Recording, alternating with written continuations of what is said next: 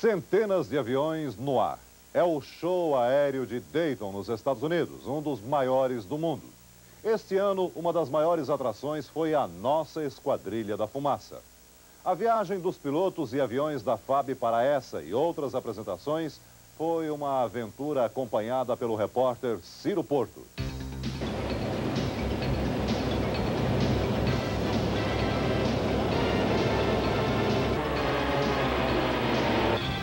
Hoje é um dia agitado na Academia da Força Aérea em Pirassununga, São Paulo.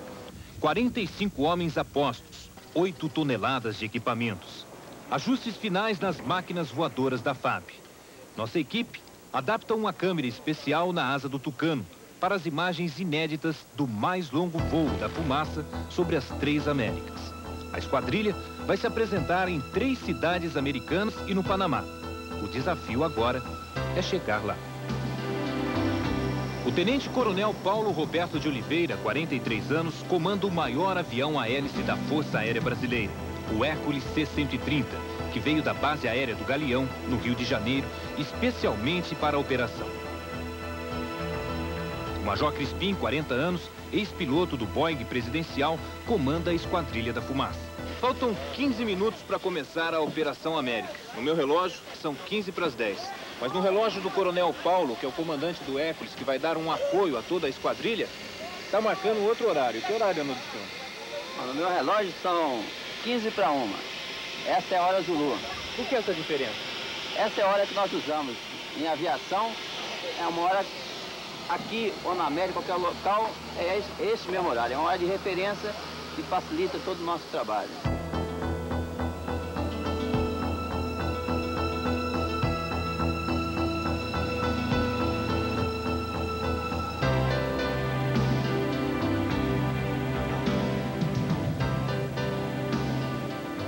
Começa a Operação América. O Hércules decola. Isso aqui parece um armazém voador. Tem tanta coisa aqui dentro que fica até difícil da gente andar. Aqui estão os tambores com óleo para a fumaça dos aviões Tucano. E nessas caixas, peças de reposição. O Hércules pode carregar até 20 mil quilos de carga. Tem um radar meteorológico que detecta tempestades a 500 quilômetros.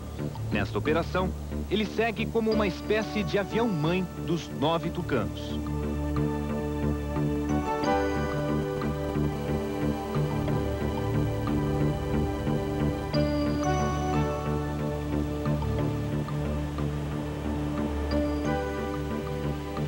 Os dez aviões viajam informação até nosso primeiro objetivo.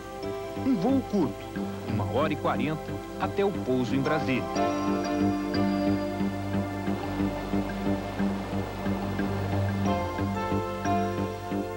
Hoje é o dia de um grande desafio para os pilotos da fumaça. Eles vão enfrentar uma viagem de 2.600 quilômetros sobre a selva amazônica. Além do perigo de voar sobre a selva num avião que só tem um motor, outro desafio é aguentar ficar aqui dentro totalmente amarrado por sete horas e meia. É um voo muito apertado, não é não? Apertado, cansativo, mas estamos, estamos preparados psicologicamente para esse. Se você tiver vontade de fazer xixi, como é que você faz?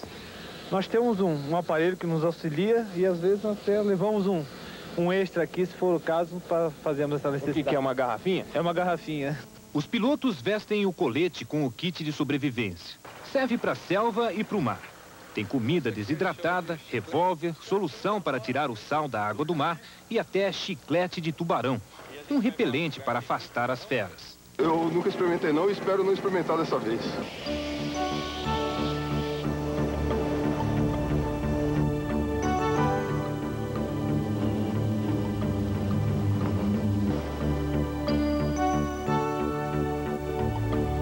Já estamos sobre a selva amazônica. Não seria exagero dizer que os tucanos estão no seu habitat natural.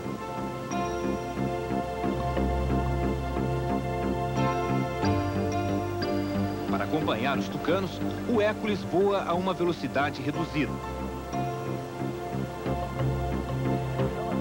Aqui não é um hotel, mas tem bastante espaço, comparado com o aperto do tucano. Ainda assim, a hora custa passar. Cada um mata o tempo como pode. Quem consegue se esticar num dos poucos beliches, aproveita o descanso, mesmo com o barulho no andar de baixo. Tem até pagode aéreo.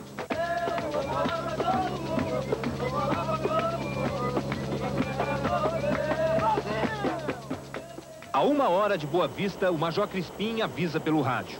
Pane no Tucano. O radar meteorológico não funciona. Entra em cena o avião-mãe.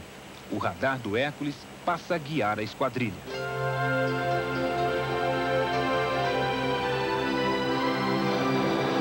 Depois de sete longas horas, a Operação América chega a Boa Vista, Roraima.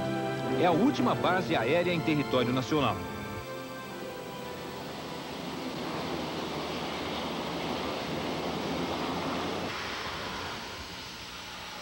Até agora, tudo certo com a operação.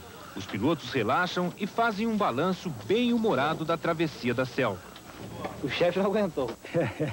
Precisou. Usei banheiro alternativo dessa vez. Torna a viagem bem difícil, né? A ausência de um banheiro. Ah, sim. A ausência de um banheiro e deram moça para servir o, o, suco e o cafezinho, né? Além de tudo, nós temos um problema de oxigênio, né? Nós, nós estamos voando em altitude. Se nós tivermos vazamento de oxigênio, é muito perigoso. Então, nós temos que estar sempre acordado, conversando com os companheiros para ver se não tem problema nenhum.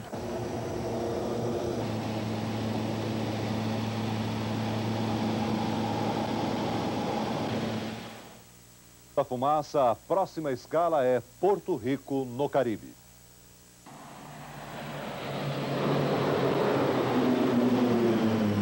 Nosso destino agora é Porto Rico. Ainda temos duas horas de voo sobre a floresta amazônica, na Venezuela. O segundo trecho mais longo da viagem é o de Boa Vista a Porto Rico, mas é também o trecho mais bonito. Durante seis horas, os aviões Tucano e o Hércules sobrevoam o Mar do Caribe, passando por cima de mais de 20 ilhas.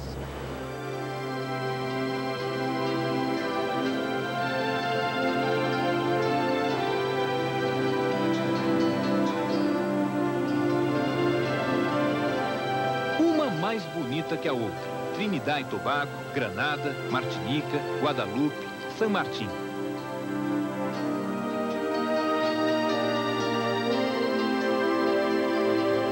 Aqui, a terra é redondamente azul.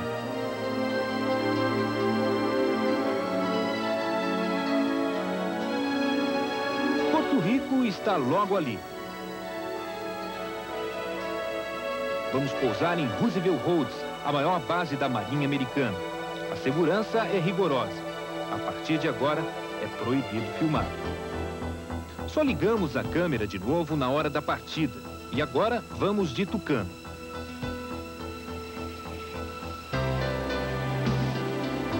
Uma das regiões mais lindas do mundo, as Bahamas.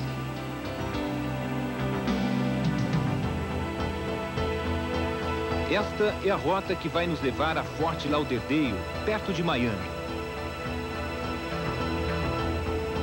Este lugar de tanta beleza tem também um grande mistério que até hoje intriga os místicos e os navegadores. Nós estamos agora sobrevoando a área conhecida como Triângulo das Bermudas. Uma área que ficou famosa porque muitos navios e aviões desapareceram aqui. Nessa área realmente ocorrem fenômenos como distúrbios no campo magnético. A tendência com o tempo, com essas novas tecnologias de previsões meteorológicas, é de se desmistificar né, cada vez mais esse local. Pensando bem, no meio de tanta beleza, quem tem medo do Triângulo das Bermudas? A única coisa que faz a gente esquentar a cabeça aqui é o sol forte. Um mapa improvisado na capota do avião resolve o problema. Mas toda atenção é pouca. Sobrevoamos o mar a 3 mil metros de altitude durante uma hora e meia. O Major Crispim faz esta viagem pela segunda vez. A primeira não foi tão tranquila. Em 85 as condições eram mais desfavoráveis. Nós voávamos mais tempo instrumento. Isso quer dizer, as aeronaves todas dentro das nuvens. Pegamos ventos contrários mais fortes. E também nós não tínhamos o tal do GPS, que é esse equipamentozinho aqui que nos dá todas as informações de velocidade no solo, vento, temperatura e tudo. Depois de cinco horas de viagem, já podemos ver a costa da Flórida. O pouso é perfeito.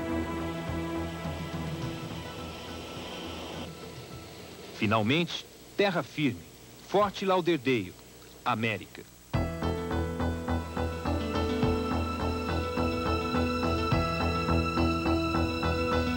Já no chão, uma surpresa. O piloto do Hércules foi obrigado a desligar um motor. Felizmente, o problema aconteceu no avião, que tem quatro motores. A gente voaria até com três, tranquilo.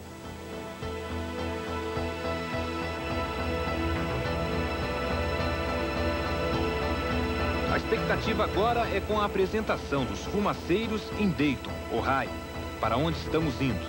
Dentro do Hércules, a animação é contagiante. É hora de festa.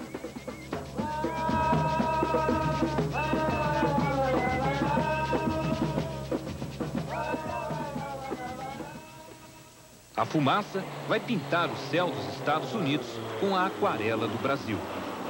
Aqui, um dos maiores shows aéreos do mundo acontece todos os anos. Em Dayton estão ases da aviação de sete países: Alemanha, Argentina, Canadá, Estados Unidos, França, Suíça e, é claro, o Brasil. A Esquadrilha da Fumaça é recebida como atração especial, com direito a espaço na telinha de lá. Do alto, um biplano rouba a cena.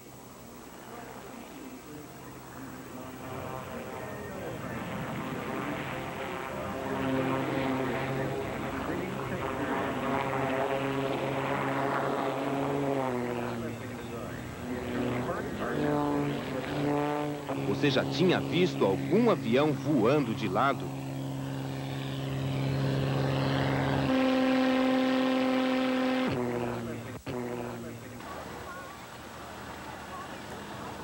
Show atrai mais de 200 mil pessoas. É gente que respira aviação e transforma o aeroporto em praia. Gente que fica pequena dentro desse túnel, ou melhor, dentro do Galaxy, o segundo maior avião militar do mundo.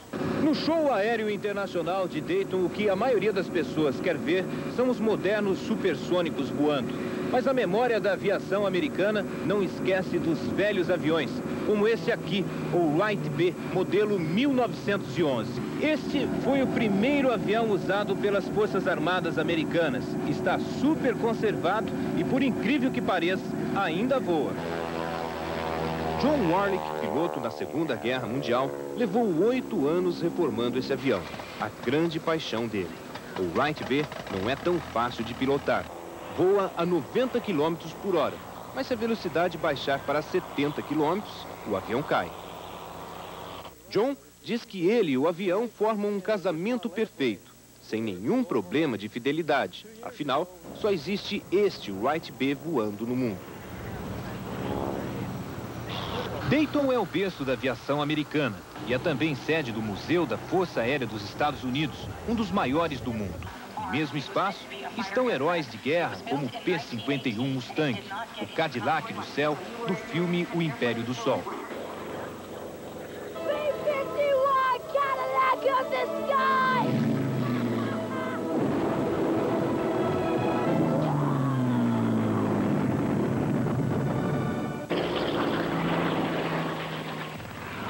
No sol do aeroporto estão espalhados centenas de letras e números. F4, 5, 14, 15, 16, 111. B1, 17, 19, 52. Aviões antigos e modernos que contam histórias de guerras de ontem e de hoje. A Fortaleza Voadora, o maior bombardeiro americano na Segunda Guerra, impressiona no céu e no chão. Avião e tripulação parecem saídos da máquina do tempo. Eu pergunto se não estava muito quente para se usar roupas grossas e pesadas. A tripulação responde sorrindo que não. Mas tempo quente mesmo foi quando essas metralhadoras justificavam o nome de Fortaleza, derrubando os aviões nazistas.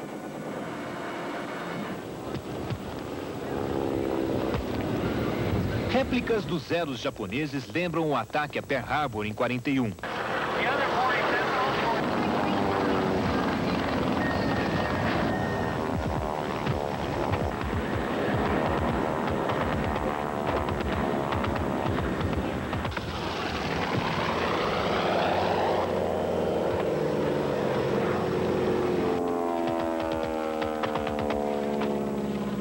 E os efeitos especiais se misturam.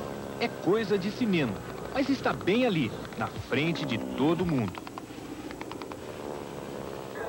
A máquina do cinema também consagrou o Tomcat no filme Top Gun, Ases Indomáveis, e usado na Guerra do Golfo.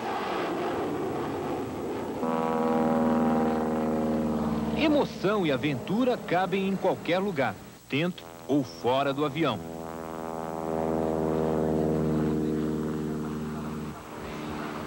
Aqui, tamanho é documento para fazer sucesso. Velocidade e barulho também contam. O bombardeiro B-1 é um exemplo.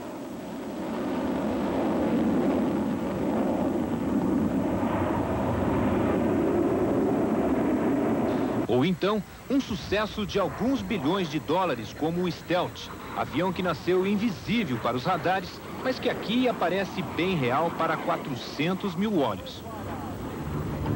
E os tucanos, no meio de tanto show, todos empoleirados esperando a vez.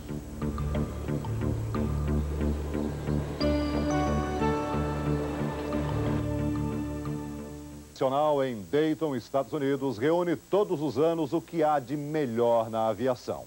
E um dos destaques este ano foi a Esquadrilha da Fumaça da Força Aérea Brasileira.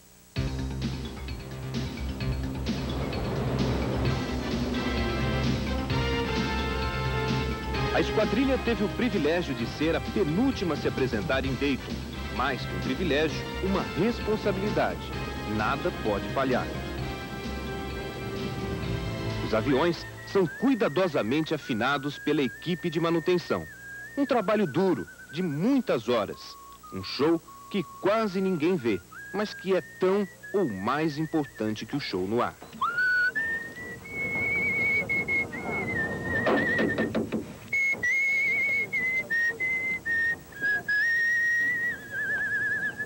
Manutenção tem que estar o tempo todo de olho abertos, né? Para não deixar acontecer nada de, de mais grave. Eu sabia que era trabalhosa a viagem, mas não tanto.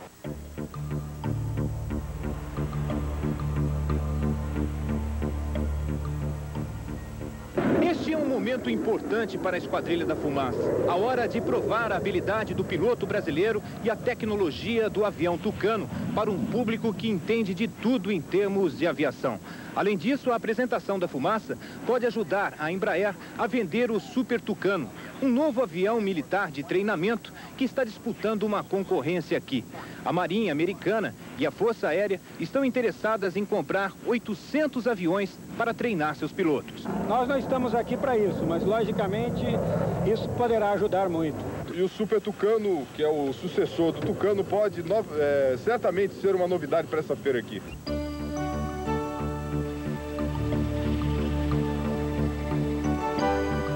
A esquadrilha se arma para decolar e fazer seu show.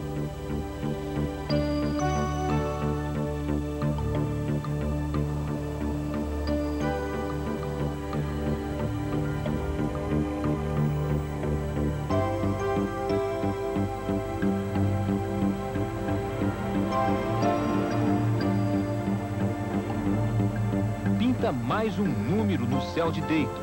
É a vez do T-27 Tucano mostrar seu valor.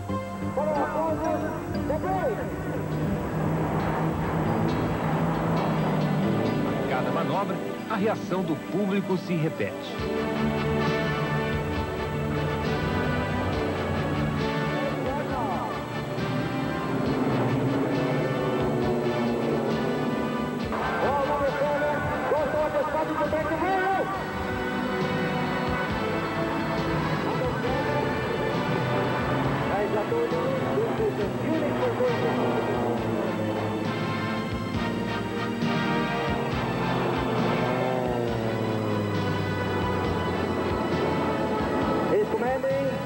espectacular. Lança por o aplauso.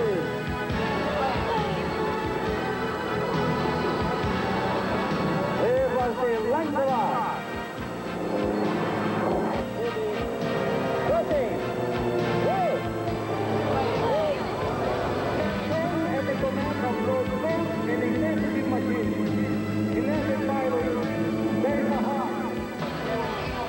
Yeah, they were very, very excellent. I think they put on a very nice show, very nice precision uh. Os aplausos acompanham o pouso da esquadrilha. Não é Hollywood, mas os caçadores de autógrafo não deixam por menos. O coração da Esquadrilha da Fumaça rouba o coração dos americanos. The heart.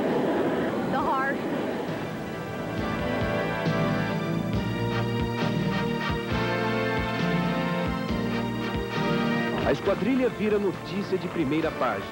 A viagem continua com o mesmo sucesso em Washington,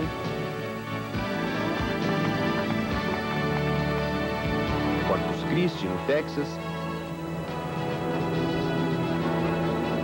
e na cidade do Panamá.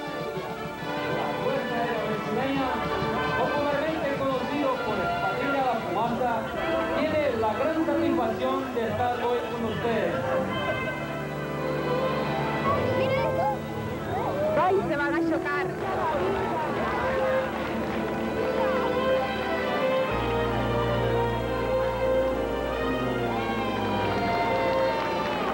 Muy emocionante.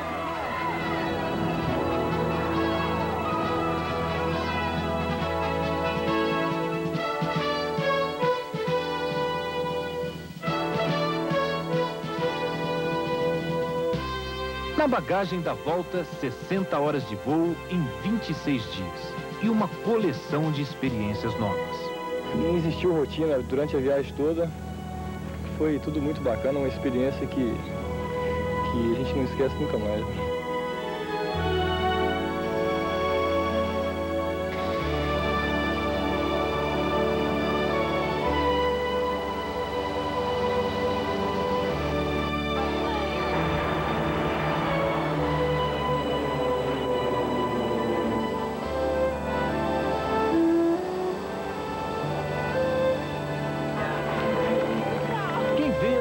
Vê as manobras da Esquadrilha da Fumaça não esquece o recado deixado no céu das Américas. A fumaça da paz e da amizade entre os povos. A Operação América chega ao fim. Missão cumprida.